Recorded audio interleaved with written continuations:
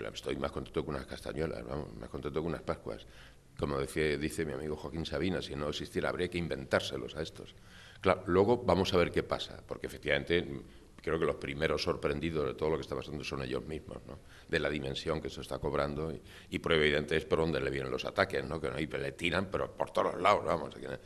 Pero es muy saludable, muy saludable que haya aparecido este movimiento y que haya aparecido esta, estas propuestas eh, y que coincida además con lo que, con lo que está pasando en, en Grecia porque es miserable de todo punto de vista el llamar esto populismo a lo que están intentando rescatar estos, esta gente de Grecia, que es simplemente decir, no machaquen ustedes más a los que menos tienen, joder, si efectivamente reconocemos que durante un tiempo aquí se han hecho mal las cosas y hay que pagar por ello, pero que no paguen sin más, o sea, no tienen más bombas ya sobre eso. Todo esto es populismo, todo esto es una gente que no tiene, realmente es miserable a lo que estamos. Y ojalá, ojalá, eh, en fin, lo que viene de esta gente de Podemos y, demás y alrededores consiga, en fin, afianzar de verdad una manera de revocar, de sanear